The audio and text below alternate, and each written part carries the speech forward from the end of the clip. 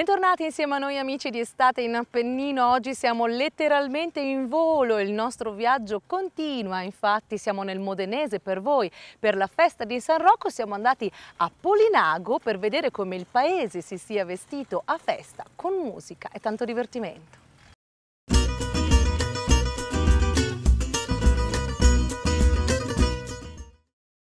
Torniamo anche questa sera in quel di eh, Polinago perché la sagra di San Rocco non si ferma. Ieri abbiamo visto il grande sforzo della Proloco di Polinago per organizzare una, una sagra in periodo Covid, in una fase particolare per tutto il eh, paese, ma abbiamo visto anche la risposta della gente nella prima giornata, la giornata di Ferragosto. Questa sera torniamo per apprezzare la musica qui a Polinago con dei ragazzini, con degli adulti che ci faranno sentire musica contemporanea e non solo, ma soprattutto per vivere questo weekend ferragostano all'insegna del divertimento qui su in montagna, qui su a Polinaro.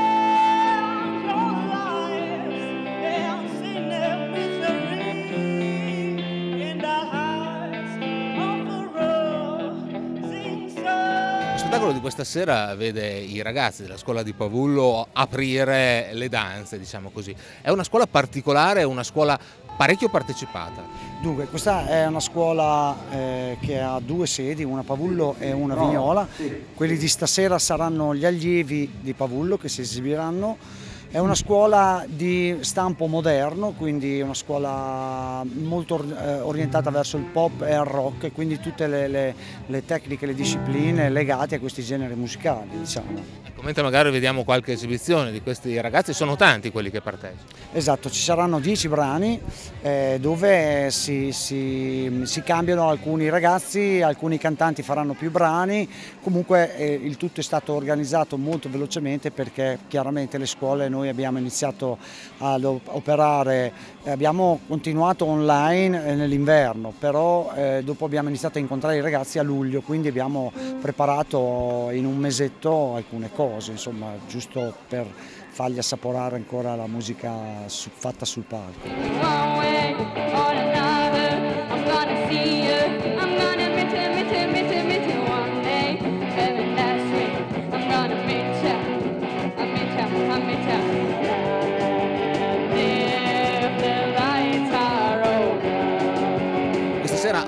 Particolare, è bello tornare a incontrare la gente in questi spettacoli, in una sagra come quella di San Rocco in cui insomma, la montagna si stringe attorno a noi. Sì, per fortuna che esistono ancora queste, questa possibilità di, di esprimersi e, ed essere nella, nella montagna modenese che è un po' la nostra luoghi che frequentavamo magari un po' da bambini così è qualcosa di, di, di, di magico, di, bellissimo, poi una, si respira un'atmosfera di altri tempi effettivamente. Il tuo concerto questa sera sarà aperto da dei ragazzini, la tua parte in cosa consisterà, cosa ci farai sentire questa sera? Allora, la prima parte ovviamente ci sono i ragazzi del Music Factory che è una, appunto la scuola di Pavullo nella quale insegno eh, anche io e la seconda parte sarà invece all'insegna di miei brani originali più qualche cover sarà accompagnato da Paolo Gianoli alla chitarra, quindi insomma, sarà una serata anche, mi auguro, molto interattiva diciamo, col pubblico, questa è un po' la, la, la mia aspettativa. Fino alla luna nuoto e in fondo al mare piedi, dove sogno di noi due e tu ci sei, ci credi. È come quando fuori piove non ci resta che giocarci a carte Sindaco si chiude questa sera in segno della musica, la sagra di San Rocco. Parto così, quanto coraggio si è voluto organizzare? Beh, l'indecisione è stata tanta, però bisognava fare qualcosa e provare a farla in sicurezza. Eh, tutte le sedute a distanza di sicurezza e eh, abbiamo avuto la forza assieme ai volontari, ai tanti volontari, ai tecnici, alle associazioni di organizzare questi tre giorni, eh, tre giorni come abbiamo sempre fatto, ovviamente più eh, ristretta, più in sicurezza, con eh, gli accessi eh, controllati, perciò dei varchi che ci garantissero una presenza controllata e però eh, ci siamo ormai riusciti, siamo al termine, mancano poche ore alla conclusione, possiamo dire che eh, le tre iniziative sono riuscite nonostante il Covid, nonostante il maltempo, nonostante la pioggia, perciò insomma abbiamo resistito grazie ai volontari e devo veramente ringraziare tanti perché eh, ci abbiamo lavorato in tanto. E la gente ha risposto perché per tre giorni eh, Polinago si è riempita veramente. Sì, si è riempita, ovviamente non con i pienoni degli altri anni, ma non lo volevamo neanche eh, perché non saremmo riusciti a mantenere il distanziamento necessario tra le persone. Eh, è una, eh, una mm, partecipazione giusta che ci ha consentito eh, distanziamento e eh, socializzazione e divertimento.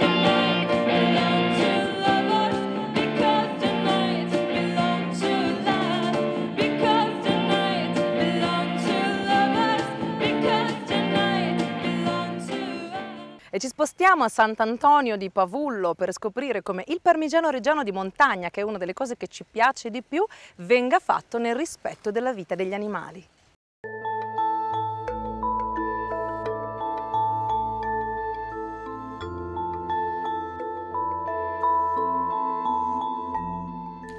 La qualità prima di tutto. In una modernità che ti spinge ad accorciare i tempi per ottimizzare i costi e massimizzare i guadagni, la qualità resta un faro per pochi. È il caso del caseificio sociale Sant'Antonio, che in via Giardini, a pochissimi chilometri dal capoluogo del Frignano, da sempre lavora sodo, sfruttando prodotti genuini e antichi accorgimenti nel segno della tradizione ma quando la tradizione si unisce alle più moderne tecnologie e all'aria buona di montagna e a una passione senza tempo che ti fa apparire piacevole anche il lavoro più duro, il risultato non può che essere uno solo, la prelibatezza. Gualtiero, quest'anno il caseificio compie 60 anni, 60 anni di attività qui a Sant'Antonio. Sì, 1958, è stato aperto nel 1958 e compie 60 anni quest'anno.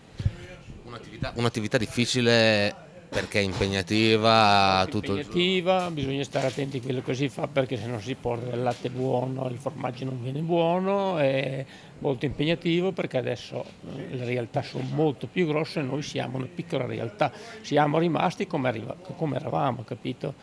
Non è che abbiamo, facciamo ancora il parmigiano reggiano come facevamo una volta. Come è cambiata la montagna e il vostro lavoro in questi 60 anni? È cambiato, è cambiato perché una volta si lavorava tutto a mano, si faceva a mano, si mungevano le mucche a mano, adesso è tutto meccanizzato, ci sono tutte macchine, però più o meno è sempre la stessa cosa, capito? Specialmente qua la montagna da noi.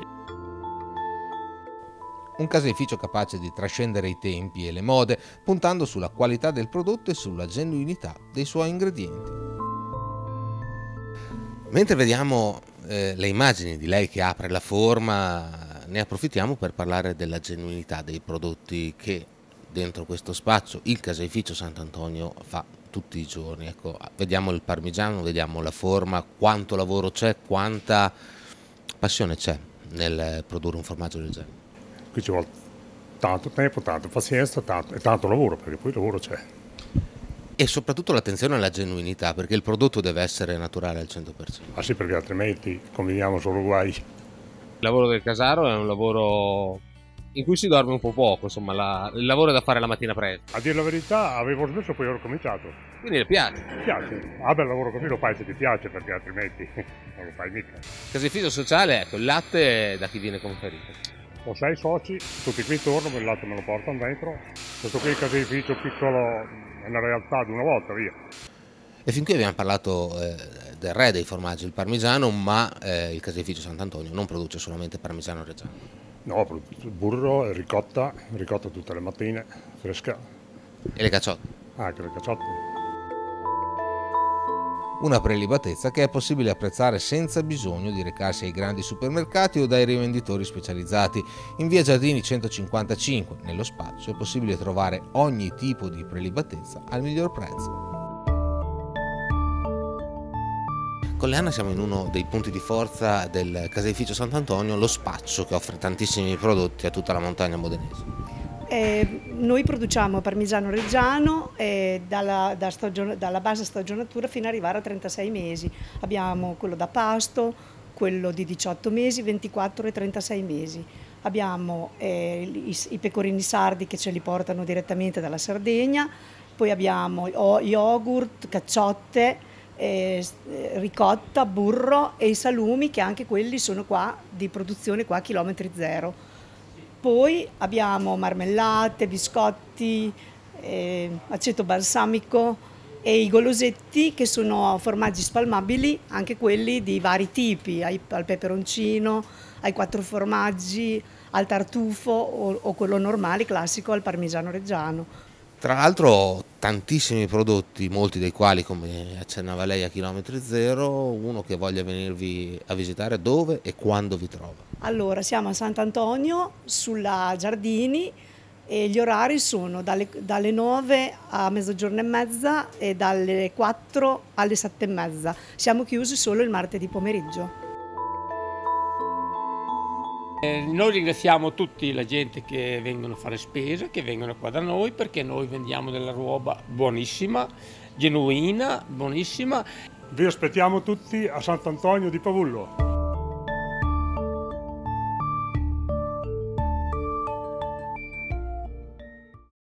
Proseguiamo il nostro viaggio, questa volta andiamo a Montese, a Maderno, a scoprire insieme, oltre alle erbe di Ottavio, che cosa popola il bosco. Siamo in compagnia degli gnomi.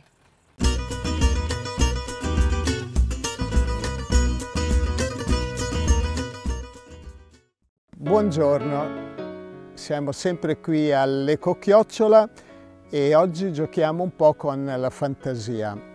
Eh, L'ecochiocciola si è strutturata per accogliere anche i bambini e eh, per farli non solo scorrazzare dentro al campeggio e eh, nei boschi circostanti, ma anche per scoprire attraverso la fantasia eh, cose caratteristiche della natura.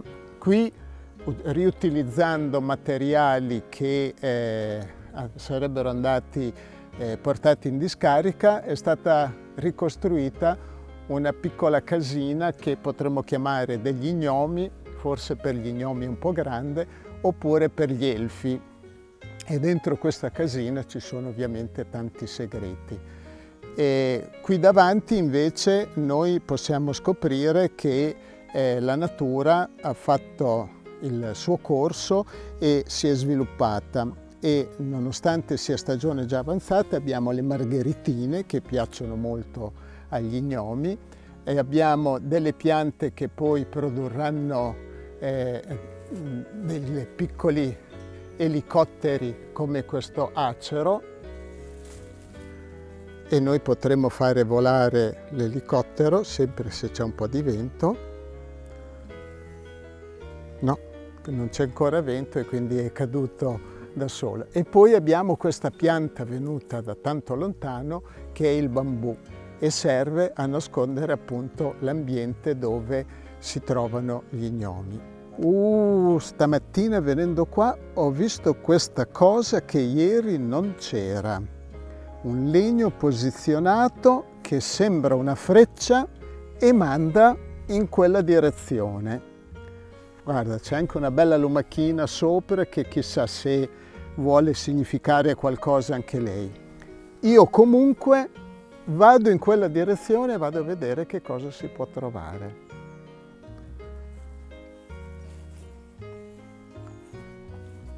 Non mi sbagliavo, in effetti la freccia indicava un posto molto interessante. Guardate qui, guardate qui, il posto delle fragole. Queste sono le classiche fragoline di bosco che sono cresciute qui in un angolino del, dell'ecochiocciola e gli gnomi sicuramente hanno messo la freccia per dire andiamoci subito a prenderle perché poi se le mangiano tutti i turisti.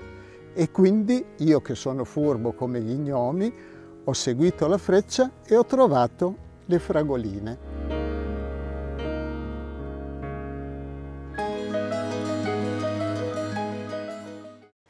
Proseguiamo il nostro viaggio volante, andiamo verso Bologna, andiamo a Monterenzo per scoprire il biscottificio Tattini. Che cosa ci offre oggi? Parliamo infatti della ricetta e della produzione delle lingue di suocera, uno dei motivi per cui ci piace andare in montagna e ci piace anche portarci dietro qualcosa.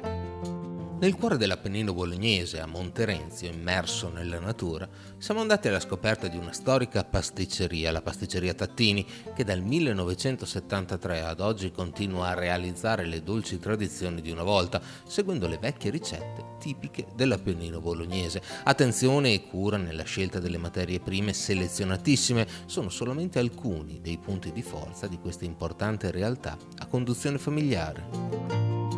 1973 io ero una piccola frugoletta che correva nel forno di famiglia. Da allora sono passati tanti anni, restiamo comunque sempre un'azienda del territorio di riferimento con un'altissima attenzione a tutto quello che è la tradizione, quindi prodotti eh, che vengono dal passato proiettati nel futuro per non perdere l'attaccamento che da sempre abbiamo con il nostro territorio. La produzione artigianale è una tradizione che si tramanta da oltre 60 anni ed è l'elemento imprescindibile per ottenere dei prodotti di altissima qualità. Assaggiare uno di questi biscotti è come fare un tuffo nel passato col ricordo dei sapori buoni, quelli sani e genuini di una volta, quelli che ci raccontavano i nostri genitori. La lingua di suocera è uno dei prodotti simbolo della Tattini SRL. Sì, noi siamo nati con questo prodotto e quindi siamo veramente orgogliosi di questo prodotto. Questo che voi vedete è un prodotto veramente ehm, unico nel suo genere perché è assolutamente eh, il mix perfetto di uova, zucchero, farina, mh, pochissimi grassi, tanta croccantezza e ha una profumazione proprio dovuta dal grandissimo impiego di uova che noi utilizziamo in questa referenza. Tra l'altro non è eh, assolutamente previsto nella, nella ricettazione che questo prodotto sia aromatizzato, quindi il profumo che si sente è assolutamente dato dal mix degli ingredienti e principalmente dalle uova. Quindi è ideale per la prima colazione, è sublime nel tè può essere utilizzato per eh, fare i dolci al cucchiaio, per foderare una, una terrina e inserire all'interno uh, qualunque tipo di dolce al cucchiaio vogliamo fare, sia imbevuto di caffè che di alchermes, che di nocino. Ogni uh, fantasia può essere utilizzata per uh, dare il meglio di questo prodotto, assolutamente senza nessun tipo di difficoltà. È, uno dei prodotti per i quali noi eh, ci sentiamo orgogliosi di dire che da tanti anni non usiamo assolutamente additivi, per cui anche nella produzione, che è comunque una produzione semi-industriale, non utilizziamo neanche agenti staccanti perché il prodotto si stacchi dalla banda d'acciaio dove avete visto che viene colato. Di conseguenza quello che noi vediamo avere tante briciole è frutto di un prodotto che non viene assolutamente additivato neanche nella lavorazione e quindi qui vediamo che eh, il fondo del prodotto è già molto raschiato proprio perché una parte il prodotto rimane attaccato alla banda d'acciaio sul quale viene colato.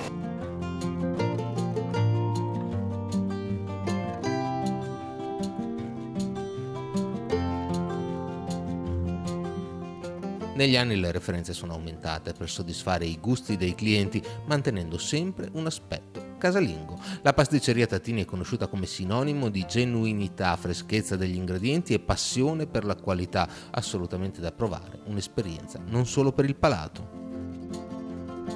Ricordiamo dove si trovano i vostri prodotti per chi li volesse acquistare in tutti i punti vendita Coop dell'Emilia Romagna, in moltissimi punti vendita Conad e in tutti i più bei negozi della grande distribuzione, per cui nell'area di Bologna, in PAM, piuttosto che uh, nei supermercati Tosano, in quell'area che comunque si avvicina al Veneto. E, um, direi che in tutti i più bei negozi anche di distribuzione organizzata siamo piuttosto ben presenti. Ricordiamo che c'è anche un sito web molto attivo. Sì, noi abbiamo istituito un piccolo sito eh, nel quale potete trovare tutti i nostri prodotti, si chiama Wine Ball ed è un uh, contenitore sia di prodotti eh, ovviamente dolciari di nostra produzione che una selezione di vini che noi abbiamo effettuato per poter arrivare a, a tutti i vari estimatori sia di dolciario che di vini.